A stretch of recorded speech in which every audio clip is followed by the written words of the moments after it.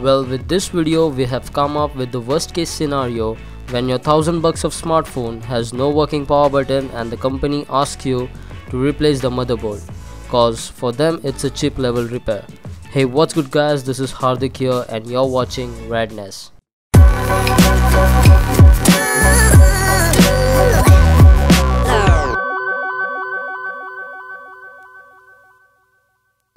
All you need is a power bank or a regular wall charger.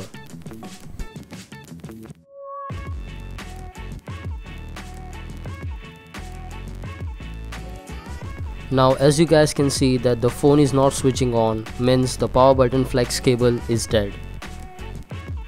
Now get ready with your power bank. Hold your device comfortably and keep pressing the volume down button. While you do so, enter the micro USB pin in the charging port.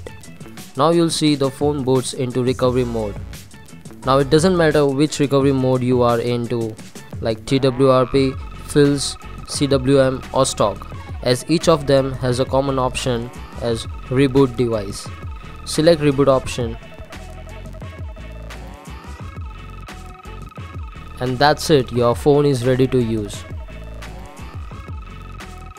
I hope this will be a life-saving trick for you guys. How about giving this video 5000 likes? Comment down below life savior if you find this video helpful. Thank you for watching. Please do not forget to subscribe. Until the next video, take care.